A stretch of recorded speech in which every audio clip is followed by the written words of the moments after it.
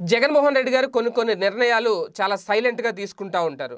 రాష్ట్ర అభివృద్ధికి సంబంధించి ప్రజా ప్రయోజనాల దృష్ట్యా అప్పుల ఊబిలో ఉన్న రాష్ట్రం అని తెలిసి జగన్మోహన్ రెడ్డి గారు ఆ అప్పులను తీర్చేందుకు లోటు బడ్జెట్ రాష్ట్రం అని తెలిసి కేంద్రం నుంచి రావాల్సిన నిధులు రప్పించేందుకు ఆయన కేంద్రంతో సఖ్యతతో ఉంటూ రావాల్సిన వాటిని రప్పించుకుంటున్నారు. రాష్ట్రాన్ని అభివృద్ధి చేసే దిశగా కీలక అడుగులు వేస్తున్నారు. ఈ నేపథ్యంలోనే ఒక పెద్ద రిలీఫ్ కేంద్రం నుంచి కేంద్ర ప్రభుత్వం నుంచి ఒక పెద్ద సహకారం అందింది జగన్మోహన్ రెడ్డి గారి ప్రభుత్వానికి మన రాష్ట్రానికి. ప్రధానంగా ఒక కొన్ని వేల కోట్ల రూపాయల రుణాన్ని కొన్ని వేల కోట్ల రూపాయల నిధులని విడుదల చేసింది కేంద్రం. దీనికి సంబంధించి ఏంటి? ఆ వరం ఏంటి? ఆ భారీ నిధులు ఏంటి అనేది చూసుకుంటే పోలవరం ప్రాజెక్టులో భూసేకరణ అలాగే పునరావాస వ్యయాన్ని కూడా భరించేందుకు ముందుకొచ్చింది కేంద్ర ప్రభుత్వం. ఈ మేరకు కేంద్ర ఆర్థిక శాఖ గ్రీన్ సిగ్నల్ ఇచ్చినట్లు తెలుస్తోంది. పోలవరం ప్రాజెక్టులో నిర్వాసితులకు ఆర్ అండ్ ఆర్ ప్యాకేజీ మీద ఇన్నాళ్ళు క్లారిటీ లేదు. దీంతో రాష్ట్ర ప్రభుత్వం నెత్తిన గుడిబండ ప- గుడి ఒక గుదిబండ పడింది అనేది ప్రచారం జరిగింది. అయితే భూసేకరణ అలాగే పునరావాసానికి కూడా కేంద్రం నిధులు భరించనుంది. పోలవరం ప్రాజెక్ట్ అంచనా వ్యయాన్ని రాష్ట్ర ప్రభుత్వం యాభై ఐదు వేల ఐదు వందల నలభై ఐదు కోట్లకు సవరించింది. అయితే అందులో నలభై ఎనిమిది వేల కోట్ల రూపాయలు భరించేందుకు కేంద్ర ఆర్థిక శాఖ ఆమోదం తెలిపింది.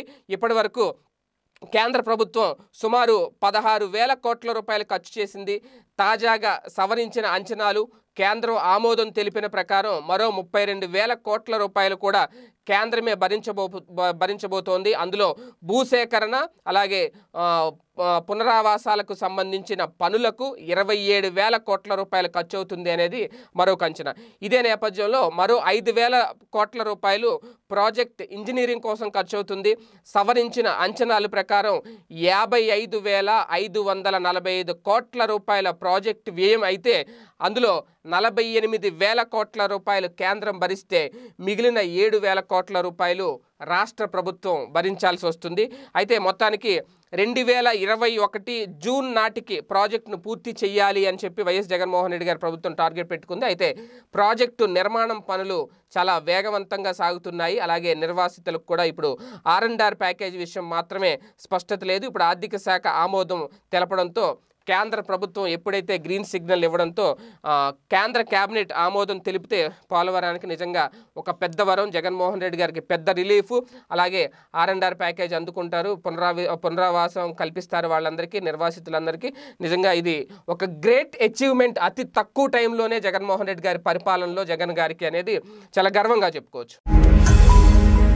ఈ వీడియో గనుక మీకు నచ్చినట్లయితే లైక్ చేయండి షేర్ చేయండి. మరిన్ని వీడియోస్ కోసం మా ఛానల్ను సబ్స్క్రైబ్ చేయండి.